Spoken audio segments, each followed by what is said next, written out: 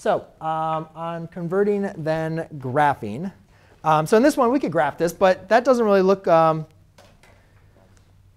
that doesn't really look too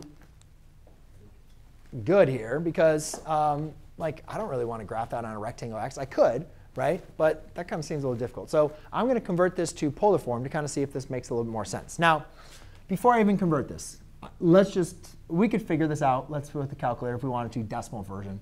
But let's just pretend we had no idea where this was or where point this is. Do we at least know which quadrant this point is in? Yes, which is the third. Some point down there, right? Now again, to write this, to convert this into polar form, I need to figure out the radius and the theta. Radius and the angle.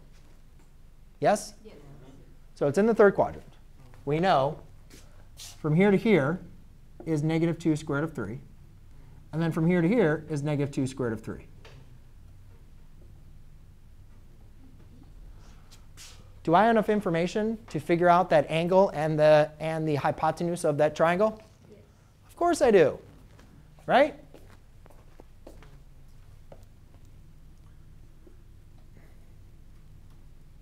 Now, I don't want, I used alpha because that is your theta. Be very careful. This happens all the time.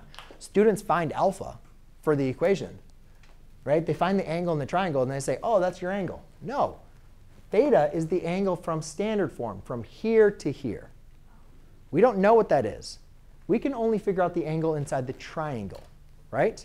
Now, before we get to that, let's find r.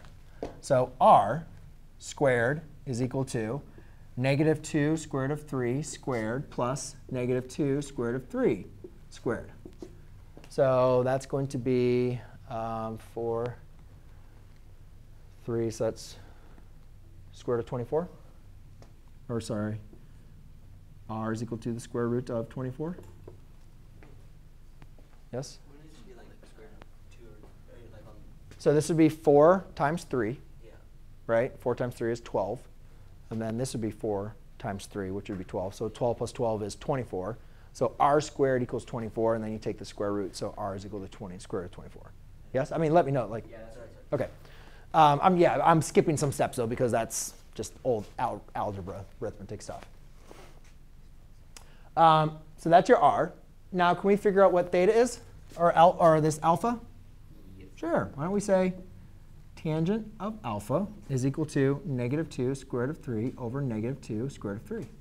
Does anybody recognize what alpha would be? 1.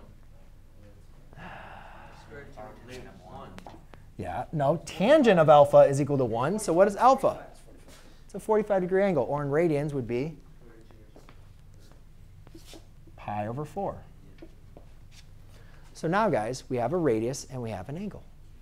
But that is the angle, again, of the triangle. That is from here to here. That is not standard form of the angle. Standard form is from there to there. Well, from here to here is how many fourths? Four fourths. And then you got to add an extra fourth. So it's 5 pi over 4. So your angle of your triangle is pi over 4, but theta is 5 pi over 4. So when I ask you to convert this, the conversion is square root of 24, comma, 5 pi over 4. Now, let's go ahead and graph this. Now, square root of 24 is not going to be on an even ring, so let's just kind of estimate. The square root of 25 is 5. So the square root of 24 is going to be a little bit less, right? So let's do kind of like 5 rings and just do a little bit farther in. 1, 2, 3, 4, 5. And then we're at 5 pi over 4, which is down here. So we'll probably put like a point like right there. Yes?